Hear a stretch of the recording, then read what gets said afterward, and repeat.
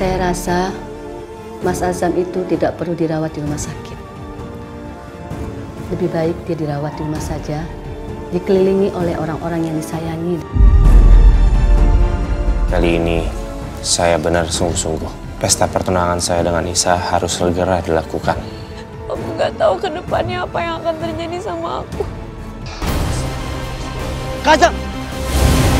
Kamu harus janji, cuman aku yang ada di hati kamu. Udah jelas semuanya. Semua orang sial tuh karena kamu. Kamu itu pembawa sial. Bu, cukup bu. Bisa jadi. Semua kesialan yang terjadi itu bukan gara-gara saya. Tapi semua ketidakberuntungan yang terjadi dalam hidup ibu dan juga keluarga ibu. Itu semua bisa jadi terjadi karena perilaku ibu sendiri. Kamu jaga mulut kamu. Kamu harus belajar mengabaikan perasaan kamu terhadap Saleha.